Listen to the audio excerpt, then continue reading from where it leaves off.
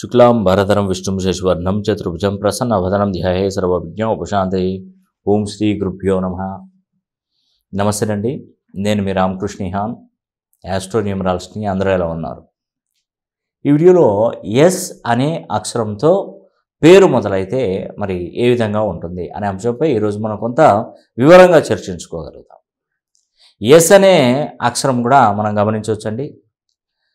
Pythagoras అనే system ప్రకారము ఇది రవికి సంబంధించిన సంఖ్యగా మనం చెప్పుకోవచ్చు. అదే చాల్దియన్ మెథడ్లో కనుక చూస్తే గురువుకు సంబంధించినటువంటి సంఖ్య.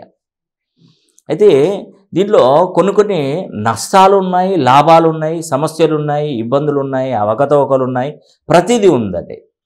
ఏదో ఎస్ అనే అక్షరంతో పేరు పెట్టుకున్నటువంటి వారు ప్రతి ఒక్కరు కోటీశ్వర్లు అంటే నిన్నాం మనం కానీ అభివృద్ధి అనేది కూడా ఎందుకు ఆటంకపడుతుంది ఎస్ అనే అక్షరంతో పేరు పెట్టుకున్నవారు కొందరు నంబర్ వన్ పొజిషన్కి వెళ్ళి ఉన్నతంగా జీవిస్తారు ఎందుకు? అదే ఎస్ అనే అక్షరంతో పేరు మొదలయ్యేవారు చాలా వరకు నష్టాలు ఎందుకు జరుగుతూ ఉంటాయి?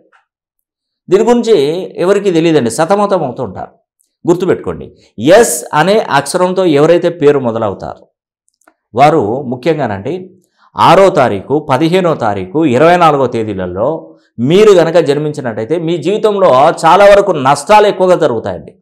ఆర్థిక ఇబ్బందులు అనారోగ్య సమస్యలు విపరీతమైనటువంటి మెంటల్ టెన్షను ఏ పని అనుకున్నా కూడా ఆ పనిలో నష్టం జరగడము ఇలా ప్రతి ఒక్కటి మిమ్మల్ని గురు చూసి కొట్టినట్టుగా ఉంటుందండి. మీరు ఎస్ అనే అక్షరంతో పేరు మొదలై ఆరు పదిహేను ఇరవై నాలుగో తేదీలలో కనుక మీరు జన్మించినట్టయితే చాలా వరకు సమస్యలు వస్తాయి. తర్వాత నెగటివ్ ఇంకొక విషయం చెప్తున్నానండి. దయచేసి అను మీరు ఒకటే గమనించండి. సార్ ఏదో నెగిటివ్ చెప్తున్నాడు అని చెప్పేసి ఈ వీడియో స్కిప్ చేయడం కానీ ఈ వీడియో చెప్పేది ఇదంతా రాంగ్ అని చెప్పేసి కానీ ఈ వీడియోను పక్కన పెట్టకండి. దయచేసి. నేను పాజిటివ్ చెప్తాను నెగిటివ్ చెప్తానండి.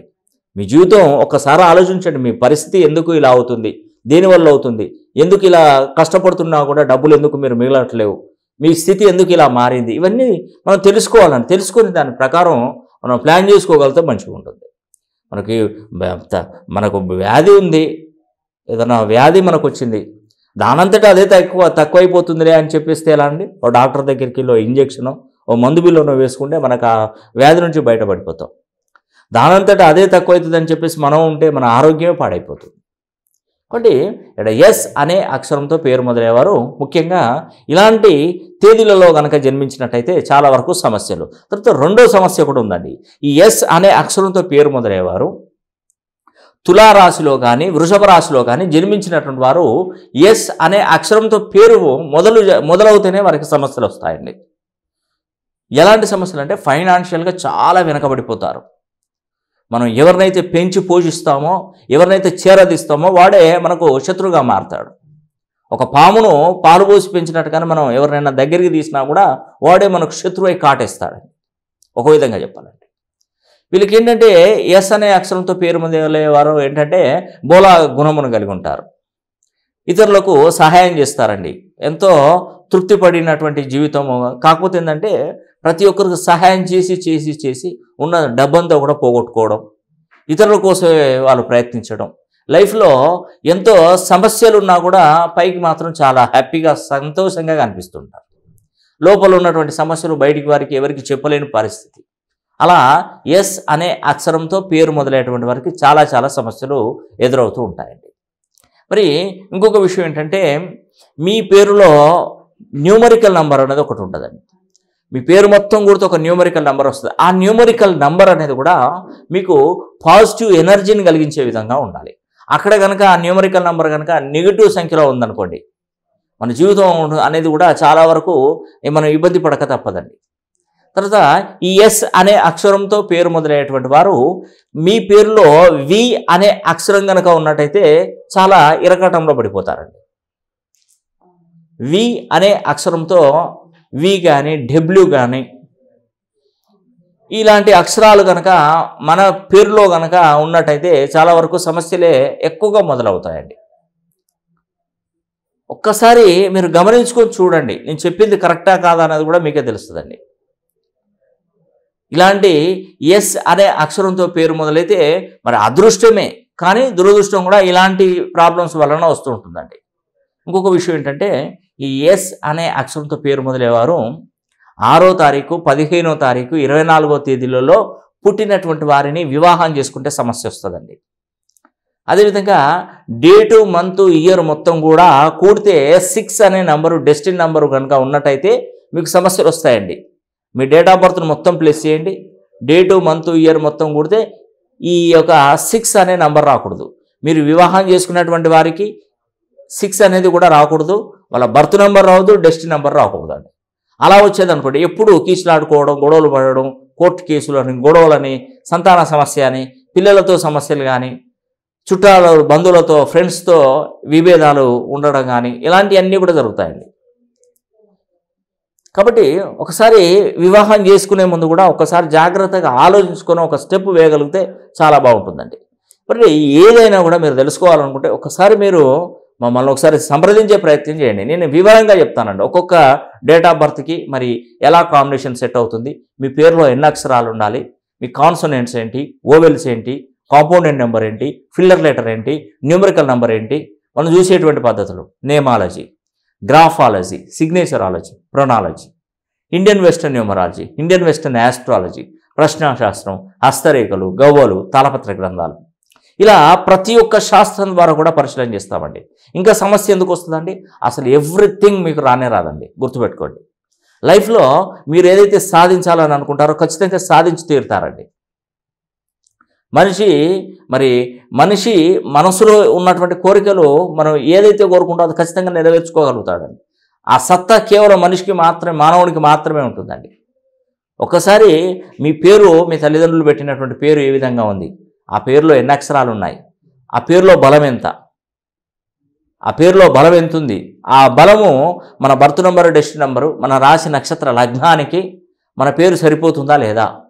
ఒకవేళ అది ఎంత పర్సంటేజ్లో ఉందో ఒక సరిపోతే ఎంత పర్సంటేజ్ ఉంది? ఎంత పర్సంటేజ్ ఉండాలి? ప్రజెంట్ ఉన్నటువంటి పర్సంటేజ్ ఎంత? దీన్ని ఎలా మార్చుకోవాలి? ఎలా కోర్సు రాయాలి? ఇలా ప్రతిదండి. మీకు ఉన్నటువంటి సమస్యలన్నీ ఇప్పుడు మీకు ఉద్యోగం కావాలనుకోండి ఉద్యోగానికి సంబంధించినటువంటి నెంబర్స్ కూడా మన పేరులో కల్పించవచ్చండి. వివాహం కావాలి. వివాహానికి సంబంధించినటువంటి చిన్న చిన్న వైబ్రేషన్ కల నంబర్స్ ఇస్తే వివాహాలు అనేది కూడా తప్పకుండా జరుగుతాయి. విదేశాలకు వెళ్ళాలి. విదేశాలకు వెళ్ళేటువంటి వారు కూడా మీకు ఆ వైబ్రేషన్ కలిగే విధంగా మంచి నెంబర్లు కనుక ప్రోగ్రామింగ్ చేస్తే ఖచ్చితంగా మీరు ఆ విదేశాలకు వెళ్తారండి. ఆర్థికంగా మరి ఎలాంటి అనారోగ్య సమస్యలు ఏమైనా ఉన్నాయో ఆ అనారోగ్య సమస్యలు కూడా తప్పకుండా పరిష్కారం దొరుకుతుంది. ఇలా ప్రతి ఒక్క దానికి అదృష్టం అన్నది కూడా ఉంటుందండి. మనం మన పేరుని సరైన సంఖ్యాబలంలోకి మార్చుకోవాలి. అలా మార్చుకున్నటువంటి పేరుని రోజు ఒక నోట్బుక్లో కోర్స్ లాగా రాయాలి. అలా రాయడం ద్వారా మంచి శుభ ఫలితాలు అయితే తప్పకుండా అందుతాయండి. ఒకసారి మీ జాతకాన్ని మీ జాతక కుండలిని పరిశీలన చేసుకోండి. మీరు ఏ రాశిలో పుట్టారు? ఏ నక్షత్రంలో పుట్టారు లగ్నం ప్రామాణికంగా తీసుకోవాలి. మనం ఆస్ట్రాలజీ కమ్ న్యూమరాలజిస్టు అంటే ఆస్ట్రాలజీ చూస్తాను ఇటు న్యూమరాలజీ కూడా చూస్తాను. అంటే ఒకటి నుండి తొమ్మిది వరకు నెంబర్లు ఒకటి నుండి తొమ్మిది వరకు మనకు గ్రహాలు. ఈ రెండు కంపేర్ చేసి చూడడం ద్వారా మనకు ఎలాంటి ఇబ్బందులు ఉన్నా కూడా దీనిలో తెలుస్తాయండి. మీరు ఎలాంటి సమస్యలతోనే బాధపడుతూ వచ్చినా కూడా మీకు తప్పకుండా మంచి యోగం అనేది కూడా కలుగుతుందండి. దాని ఎటువంటి సందేహం లేదు. కాబట్టి ఎస్ అనే అక్షరం చాలా గొప్పదండి. నేను పర్ఫెక్ట్గా చెప్తున్నాను. దీనిలో పుట్టిన దీనిలో ఏదైనా పేరు పెట్టుకున్నాం అనుకోండి. చిన్నపిల్లలకి వెరీ వెరీ ఇంపార్టెంట్ అండి. ఒక పామ్ మెలుగు అలాగా ఉంటుంది ఎస్ అనే అక్షరం. దీంట్లో మనకు రవి అని చెప్పాను కదా రవికి సంబంధించిన సంఖ్య ఒకటైతే మనకు పైతాగరస్లో ఇది రవికి సంబంధించిన సంఖ్య. అది చాల్దియన్ మెథడ్లో మాత్రం గురువుకు సంబంధించిన సంఖ్య. మనకు గురుబలం ఉంటే ప్రపంచాన్నైనా కూడా జయించవచ్చండి. సూర్యబలం ఉండాలి. సూర్యబలం ఉంటే ఆరోగ్యవంతమైనటువంటి జీవితం మంచి ఉద్యోగ ప్రాప్తి అనేది కూడా మనకు లభిస్తుంది. కానీ మనం ఈ కొన్ని కొన్ని అక్షరాలతో మనం పేర్లు పెట్టుకోవడం తర్వాత దీంట్లో నెగిటివ్ సంఖ్యాపనం ఉండడం కొన్ని కొన్ని తేదీలలో పుట్టడం కొన్ని కొన్ని రాసులలో పుట్టడం కొన్ని కొన్ని లగ్నాలలో జన్మించడం. ఇప్పుడు ఎస్ అనే అక్షరంలో పేరు పెట్టుకున్నటువంటి వారు మనకు తులాలగ్నంలో కానీ వృషభ లగ్నంలో కానీ జన్మిస్తే చాలా వరకు సమస్యలు ఫేస్ చేస్తుంటారు. వీటి నుండి కూడా మనం బయటపడాలంటే ఫస్ట్ మన పేరుని మంచి అదృష్ట సంఖ్యాబలంలోకి మార్చుకోవాలండి. ఈ సంవత్సరం కనుక మనం చూసినట్టయితే రాజు రసాధిపతిగా శని భగవానుడు ఉన్నాడు మంత్రిగా గురువు ఉన్నాడు సైన్యాధిపతి ఆర్గాధిపతి మేఘాధిపతిగా బుధుడు ఉన్నాడు. ఇక్కడ మనకు సస్యాధిపతిగా రవి ఉన్నాడు. ఇప్పుడు ఎస్ అనే అక్షరము పేరు మొదలైనటువంటి వారు సస్యాధిపతి అయినటువంటి రవి తర్వాత ఈ గురువు మంత్రిగా ఉంటాడు కాబట్టి మనకు ఎలాంటి ఇబ్బందులు ఉండవు కాబట్టి ఈఎస్ అనే సంవత్సరంతో ఈ సంవత్సరం దూసుకొని వెళ్ళే అవకాశాలు కూడా ఉంటాయి. కాబట్టి మీ గురించి మీరు పూర్తి వివరంగా మీరు తెలుసుకోవాలన్నా మీ ఫ్యామిలీ గురించి మీ పిల్లల గురించి మీరు పూర్తి వివరంగా తెలుసుకోవాలనుకున్నా కూడా కింద స్క్రోల్ నంబర్ కాల్ చేసి పర్సనల్గా ఫోన్లో కలిసే ప్రయత్నం చేయండి. ఈ వీడియో కనుక మీకు నచ్చినట్టయితే లైక్ చేయండి మరి షేర్ చేయండి అదేవిధంగా కామెంట్ చేయండి. సర్వే జన సుఖినో భవంతు.